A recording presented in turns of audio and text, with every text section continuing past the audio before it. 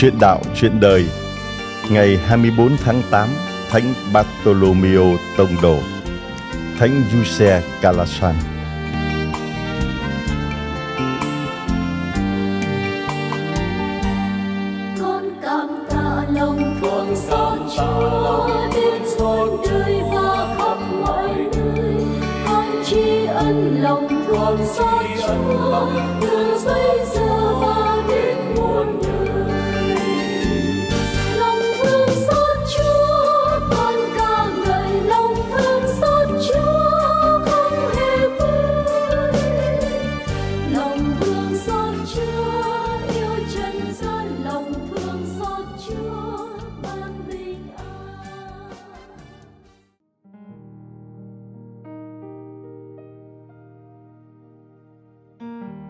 Chuyện đạo, chuyện đời Ngày 24 tháng 8 Thánh Bartolomeo Tông Đồ Thánh Giuse Calasan Thánh Bartolomeo Tông Đồ Lễ Thánh Bartolomeo được cử hành từ thế kỷ thứ 8 trong các xứ France.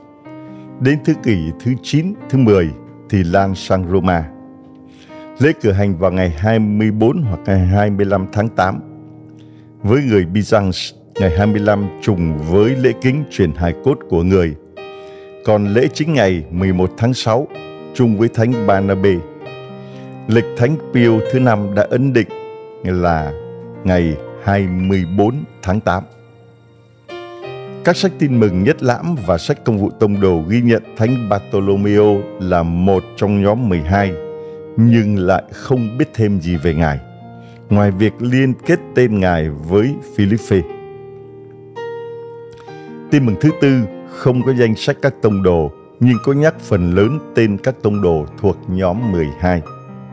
Sách tin mừng này không nói gì tới Bartolomeo mà chỉ ghi nhận tên Nathanael liên hệ với Philippe cũng như kết nhóm với các tông đồ khác sau phục sinh. Từ thế kỷ thứ 16, nhiều học giả đã đồng hóa Nathanael với Bartolomeo và gọi Bartholomew là tên của Nathanael. Nếu sự đồng hóa là đúng, chúng ta biết được nhiều chi tiết về ơn gọi của Thánh Tông Đồ hơn là của các tông đồ khác. Dường như là phó bản của Gioan 21 chương 4 câu 17. Trước khi được chính thức kêu gọi, đã có một cuộc gặp gỡ thú vị.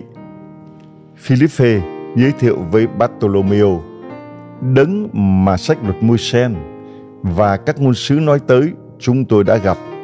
Đó là ông Giêsu, con ông Giuse, người Nazareth.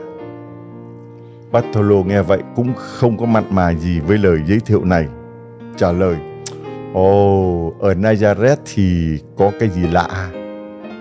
Tuy nhiên, khi đáp lại lời mời thì hãy đến mà xem. Vị tông đồ đã gặp một Chúa Giêsu đấng thấu suốt lòng mọi người. Này đây, đích thực là một người Israel, trong mình không có gì gian dối.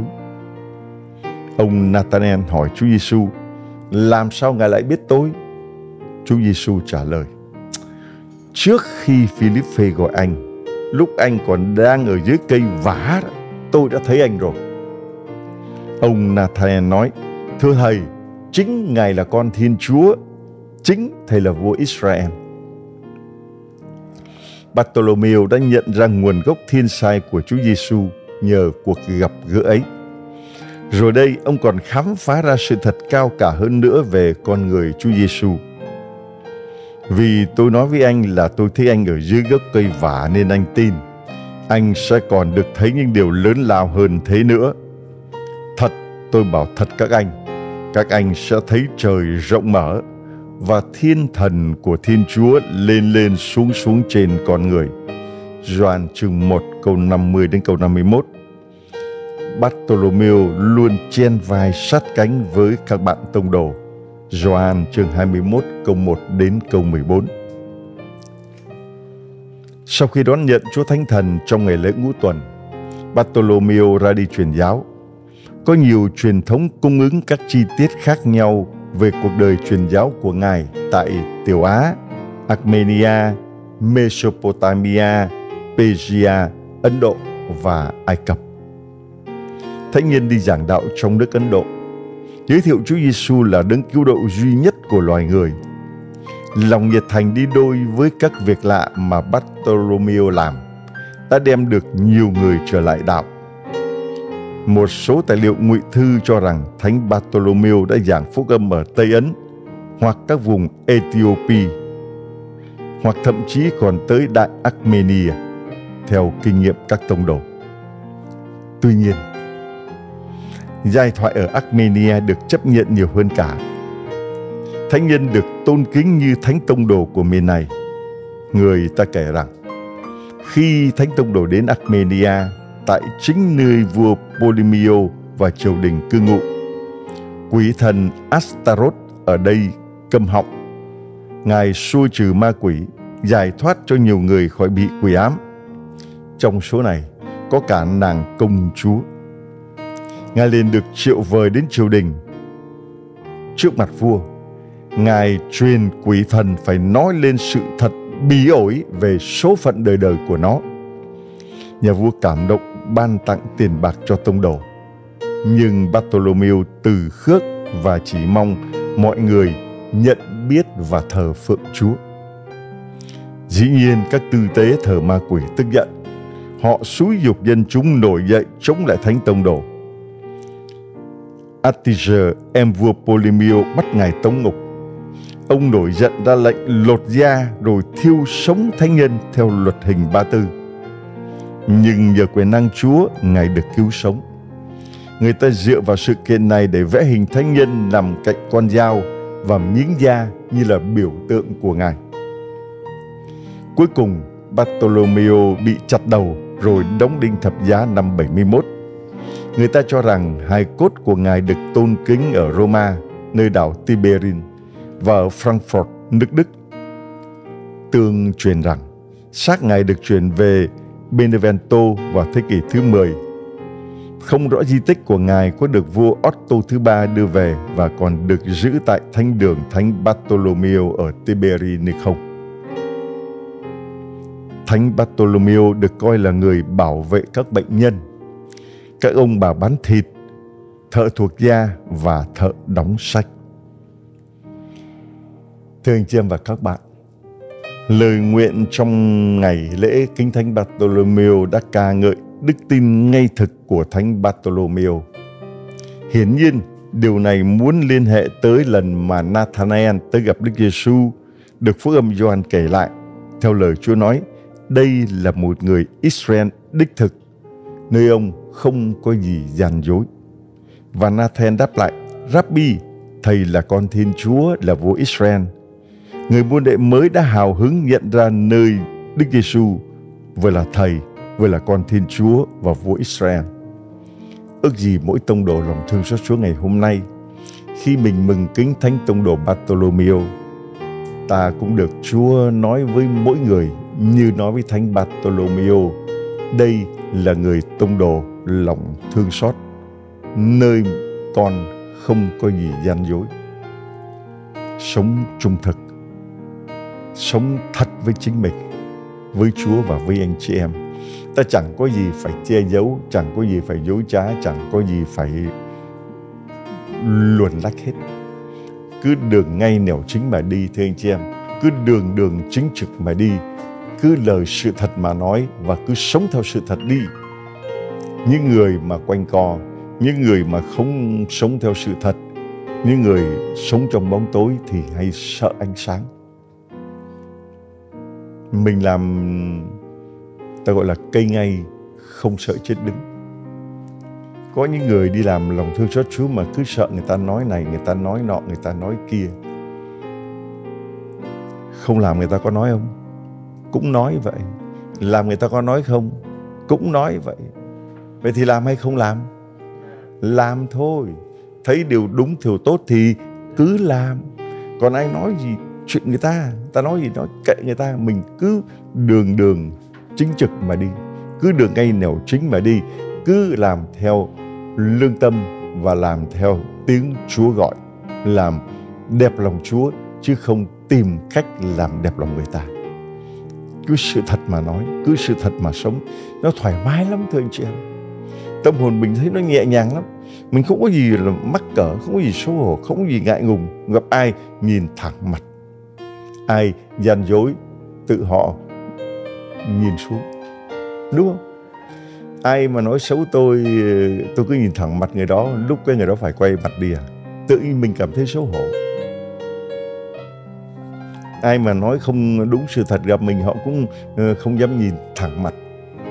Còn mình cứ đường đường chính chính, chẳng ngại, chẳng sợ ai cả. Dù có đức giáo hoàng, dù có tổng thống đi nữa, tôi cũng vẫn là tôi thôi vẫn cứ nhìn thẳng mặt mà nói thôi có gì phải rụt rè có gì phải e dè có gì phải sợ hãi bài giảng của Thánh Doan Kim Khẩu nhấn mạnh rằng để loan truyền phúc âm ra khắp nơi, Chúa đang muốn dùng 12 con người ngu dốt, nhát đảm, sợ sệt, hầu chứng tỏ rằng sự yếu đuối của Chúa còn mạnh hơn con người. Từ đó cũng như mọi tông đồ trong phúc âm, giáo hội có thể cùng lập lại với Thánh Phaolô. Và hôm nay chúng ta cũng có thể lập lại điều đó, những tông đồ lòng thương xót Chúa. Tôi có thể làm được tất cả mọi điều trong đấng ban sức mạnh cho tôi. Tôi làm được mọi sự trong Đức Kitô đấng ban sức mạnh cho tôi. Trong yếu đuối, trong chửi bới, trong áp bức, trong bách hại cũng như lo lắng. Khi tôi yếu chính là lúc tôi mạnh. Thánh Giuse Calasan, linh mục Thánh Giuse Calasan qua đời tại Roma ngày 25 tháng 8 năm 1648 được phong thánh năm 1767 và được Đức Giáo Hoàng Pio thứ 12 công nhận là bổn mạng các trường học công giáo bình dân năm 1948. Thánh Giuse Calasan được Chúa ban cho một tấm lòng nhân từ và quảng đại, đã hiến dâng chót cuộc đời cho việc dạy dỗ và giáo dục trẻ em. Giuse Calasan đã dùng tất cả tài sản riêng của mình cho công trình giáo dục khắp các nước Ý, Đức, Bohemia và Moravi. Nhưng nhất là với sự kiên nhẫn của Đấng Thánh, Ngài đã biết đương đầu với những thử thách lớn lao tấn công Ngài nhiều lần. Thay vì phàn nàn với nguyên nhân phụ, Ngài thường nói với các bạn thân rằng Chúa gửi chúng đến vì lợi ích chúng ta Chúa gửi những khó khăn, những thử thách, những gian truân đến vì lợi ích chúng ta. Ngài ước ao nhà nguyện bao giờ cũng được xây chính giữa các học xá. Và Giuse Calasan là người đầu tiên cho đọc phúc âm bằng ngôn ngữ thông thường. Giuse Calasan sinh năm 1557 ở miền Bắc nước Tây Ban Nha, trong một gia đình giàu có đạo đức. Ngay từ nhỏ, Ngài đã được cha mẹ dạy dỗ hướng dẫn đạo hạnh nên rất siêng năng cầu nguyện hạ mình.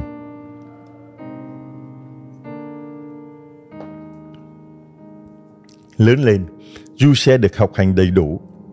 Năm 15 tuổi, cậu đã học xong chương trình trung học và được cha mẹ chấp thuận cho vào trùng viện, tiếp tục học hành, luyện tập nhân đức, đậu tiến sĩ luật tại Đại học Ankara.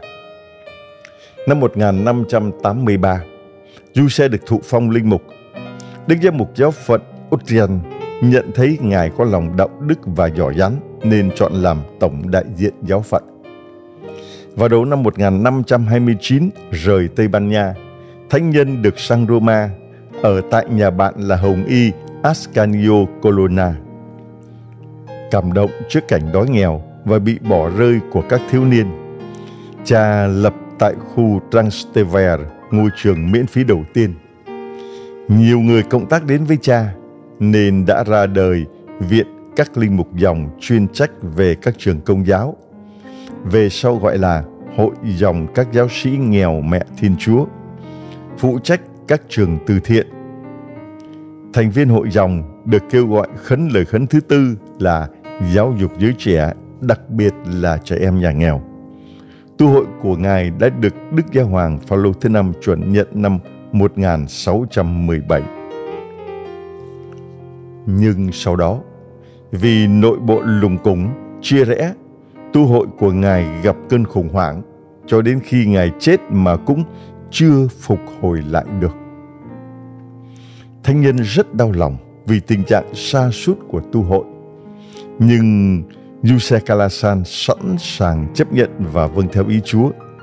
Ngài ra sức hãm mình và cầu nguyện cho tu hội sớm được phục hồi, cho công cuộc giáo dục đào tạo thanh thiếu niên được kết quả.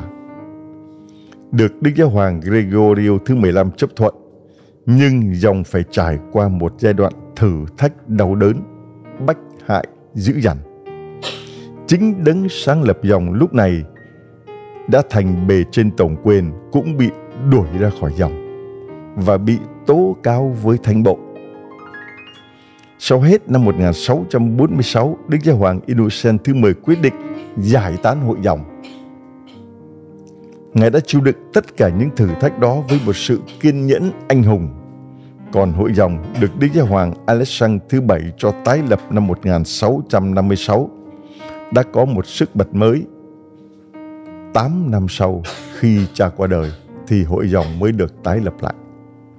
Vì thánh nhân qua đời ngày 25 tháng 8 năm 1648 và năm 1767 được tôn phong hiển thánh.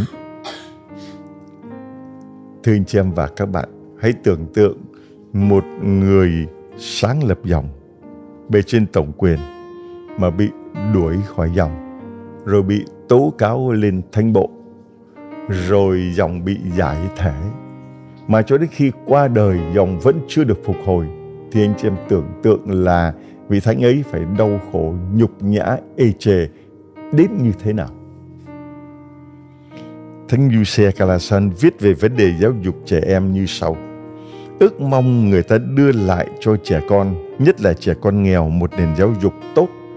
Không phải vì điều đó góp phần nâng cao nhân cách chúng mà còn của mọi thành phần xã hội.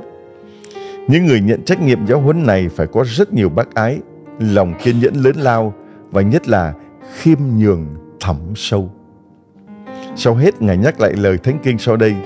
Kẻ dạy công chính cho đại chúng sẽ rực rỡ chiếu sáng như những vì sao trong cõi vĩnh hằng muôn đời.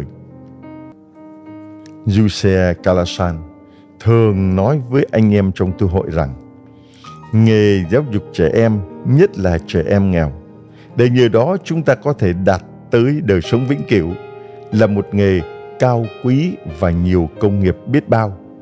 Đó là điều ai cũng biết. Đúng thế, khi ta lo cho cả hồn lẫn xác chúng được lành mạnh, bằng cách dạy dỗ chúng và nhất là bằng cách đào tạo chúng về lòng đạo đức và giáo lý, thì chúng ta đang chu toàn cùng một sứ mạng đối với chúng như các thiên thần bản mệnh của chúng vậy. Đằng khác, sự giúp đỡ của ta sẽ quý báu vô cùng khi không những ta tránh cho các trẻ em khỏi làm bậy, mà nhất là lôi kéo, thúc giục các em biết mau mắn và thích thú làm việc lành dù các em thuộc gia đình và thân phận nào, được giúp đỡ như thế các em chắc chắn sẽ biến đổi nên tốt hơn. Thậm chí sau khi các em đã được dạy bảo, không ai nhận được đó là những em trước kia đã thiếu giáo dục nữa. Đúng vậy, các em đang là những cây non. Ta càng hết lòng hướng dẫn tâm hồn các em, càng dễ uốn nắn. Nếu các em lớn lên rồi, sẽ rất khó hoặc sẽ không còn uốn nắn được nữa.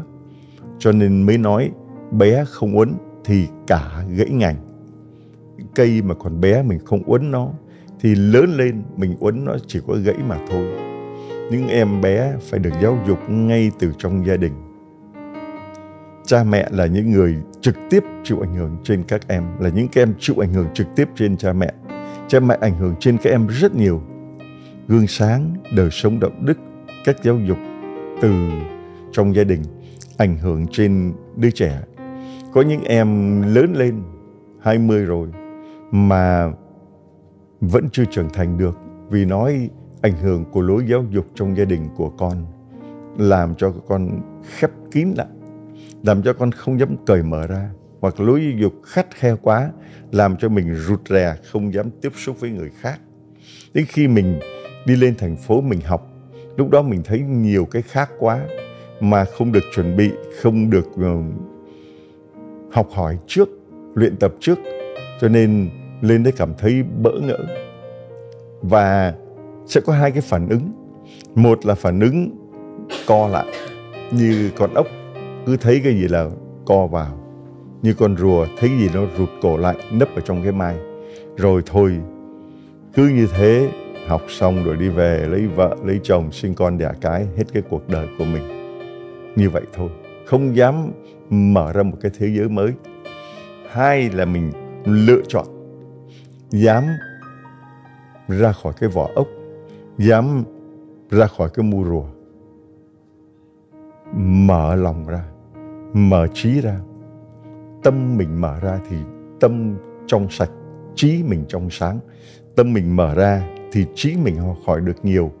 Và trí mình càng học hỏi được bao nhiêu thì cái tâm của mình càng rộng ra bấy nhiêu.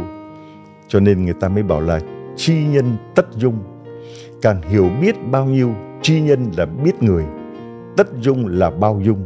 Càng hiểu biết con người bao nhiêu thì lòng ta càng bao dung bấy nhiêu. Hiểu rằng em đó nó xử sự như vậy vì cái hoàn cảnh nó như thế, vì ảnh hưởng của giáo dục gia đình từ thời nhỏ như thế như thế như thế. Hiểu ra rằng em đó nó hư thân cũng là vì ảnh hưởng của bạn bè như thế như thế, vì cha mẹ đã nuông chiều như thế như thế.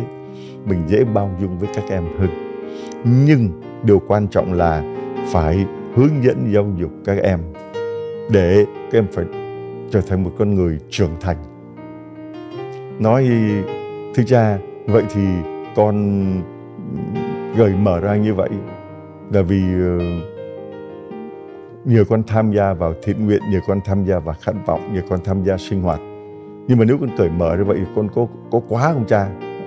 Sợ quá lại rụt vào nói, nếu mà mình rụt vào, mình khép kín lại, mình không giao tiếp với ai nữa, thì mình vẫn cứ mãi là trẻ con, không lớn lên được.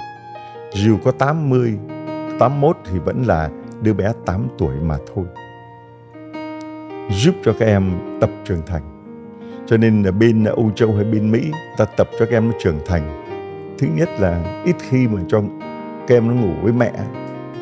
Nó đủ lớn rồi thì nó ngủ một mình, độc lập. Và khi nó làm cái gì thì cũng để cho nó tự nó làm, rồi chỉ giúp nó sửa mà thôi, chứ không có làm thay. Còn bố mẹ Việt Nam thì cái gì cũng bao cấp. Hỏi một câu tên nó là gì cũng phải trả lời dùm nó. Hỏi nó bao nhiêu tuổi cũng phải trả lời dùm nó. Rồi nó làm cái gì cũng không cho nó làm, cái gì cũng sợ nó không làm được. Tôi nói sợ nó không làm được thì biết bao giờ nó mới làm được. Phải để cho các em nó làm sai thì sửa thế thôi. Chứ còn không cho nó làm cái gì cả mà người ta hỏi tên nó mà cũng không dám để nó trả lời. Mà sợ nó nói sai. Tên nó mà có nó không nói đúng thì bao giờ nó mới nói đúng được. Để nó nói đi. Sao không tập cho để nó trưởng thành lên đi? Và tập nó giao tiếp với người khác đi. Cho nên khi anh chị em đi vào con đường lòng thương xót là con đường mà Chúa giúp mình đi trên đôi chân của mình. Mình hiểu biết mình, hiểu biết người. Càng yêu mến Chúa bao nhiêu thì càng hay say phục vụ bấy nhiêu. Càng yêu mến mình bao nhiêu thì càng cố gắng rèn luyện cho mình học hỏi hiểu biết nhiều bấy nhiêu. Học nơi sách vở, học nơi giao tiếp, học nơi người khác, học nơi lắng nghe, học ừ, nơi những người có kinh nghiệm. Mình học, học, học, học. Và mình mở lòng ra để mà thực hành những điều mình học hỏi. Như thế, mình đi loan truyền lòng thương xót Chúa. Mình bước đi chỗ con đường lòng thương xót Chúa là một con người trưởng thành. Là một con người có trách nhiệm, là một con người biết cái gì đúng, cái gì sai, là một con người dám chịu trách nhiệm về cuộc đời của mình, không có dựa dẫm vào cha mẹ hay là phụ thuộc quá vào gia đình. Người làm cha làm mẹ chúng ta bao cấp quá chúng ta làm cho con mình không lớn lên được không trưởng thành lên được. Nếu cứ như thế thì suốt đời mình, ôi khổ quá, hết lo cho con, lại lo cho cháu. Ai bảo ông bà khổ chứ tự mình làm khổ mình chứ. Để nó làm không được hay sao? Ông Giêsu sợ nó thế này thế kia, hết lo cho con, rồi lúc lại cháu lại ôm lấy cháu lo cho cháu, mới bảo con hư tại mẹ, cháu hư tại bà. Mình giúp mình lo mà không biết cách lo, đôi khi mình làm hại con mình làm cho con mình không trưởng thành được. Rồi suốt đời mình khổ và con mình cũng chẳng được hạnh phúc đâu, thưa anh chị em.